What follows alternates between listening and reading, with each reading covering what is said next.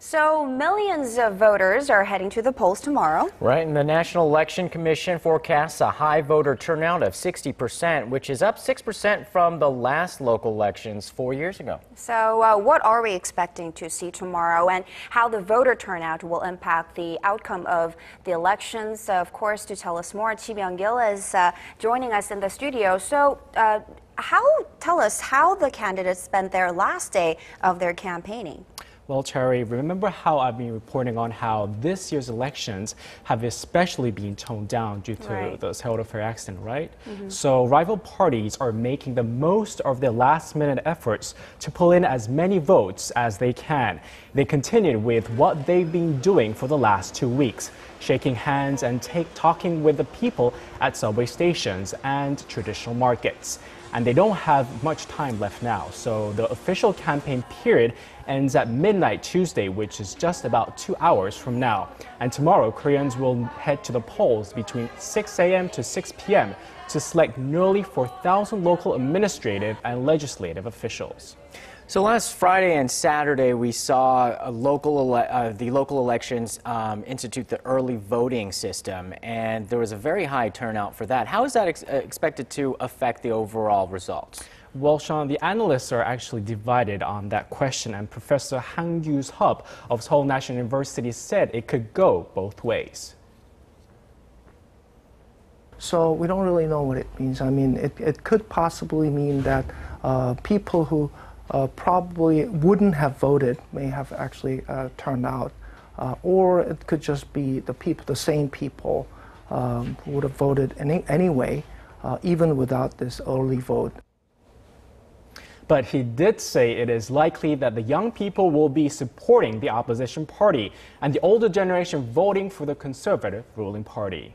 Now, we of course have to go back to the April ferry disaster and its uh, potential impact on the elections. And uh, that's probably why we're hearing terms like angry mom, because they're expected to be quite angry or frustrated with the government's handling of the disaster with so many students dead, right? Yeah, that's right. Experts say last month's ferry disaster disaster has definitely affected public sentiment and that the election will be seen as a referendum on this incumbent government.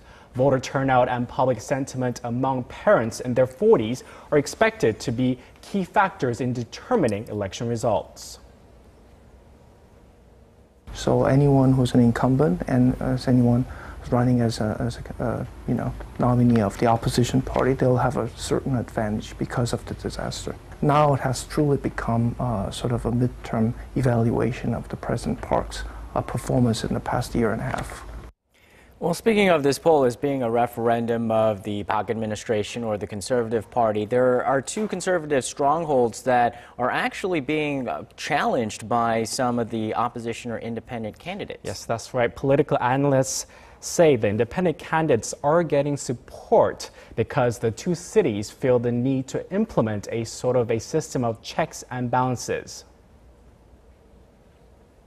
The people of Busan, you know, they've been electing the uh, Saenuri candidate in every presidential election in the past, and they feel as if that even uh, despite their uh, consistent support, the uh, the presidents in the from the Saenuri Party haven't really done enough for their region. And also pretty much the same thing in, in Gwangju. However, in the city of Gwangju, voters are upset that MPAD co-leader An Cheol-soo decided to nominate Yoon Jang-hyun as his party's candidate without holding primaries. I see. Now let's uh, recap the latest polls that we got. Uh, tell us about some of the most contested regions. Yes, if we take a look, according to the most recent opinion polling from last week, the ruling Saenuri Party had the upper hand in six regions, while the main opposition New Politics Alliance for Democracy held strong in five regions. And in four other regions, the rival party candidates were neck and neck independent candidates are running close with their counterparts in the city of Busan and Gwangju. So, where are the most important battlegrounds? Well, according to the latest polls that were released on May 28th, Seoul, Incheon, and Gyeonggi-do province are the key battlegrounds since they hold half of Korea's total population and are seen as a stepping stone to the presidential ticket. Incumbent Seoul Mayor Park Won-soon held a comfortable lead by more than 18 percentage points against his Saenuri Party rival Chung Mong-jun. In the port city of Incheon, incumbent mayor Song Yong-gil was in a dead heat with his conservative conservative counterpart Yu Jung-bok with only a 3.2 percentage point difference. For the governor's seat in Gyeonggi-do province, the Saenuri party's Nam Kyung-pil held a slight lead with 36%, while Kim Jin-pyo of the main opposition New Politics Alliance for Democracy was at 34.7%. In the ruling party's stronghold of Busan, independent Oh Keo-don was neck and neck with the Saenuri Party candidate Seo Byung-soo. And the Liberals' power-based city of Gwangju, independent Kang Un-tae trailed behind the MPAD's Yun Jang-hyun by 1.1 percentage points. In the two Chungcheongdo provinces, which are known to be swing regions, the MPAD's An Hee-jung and Lee Si-jong were last seen pulling ahead their ruling party rivals for governor posts. I see now. Well, it's tomorrow, and uh, we'll uh, be watching uh, this very closely. Not only watching, we'll be working very hard and covering this elections, of course, right here on Arirang TV. Shin Byung-gil there. Uh, thank you so much for that report. Sure.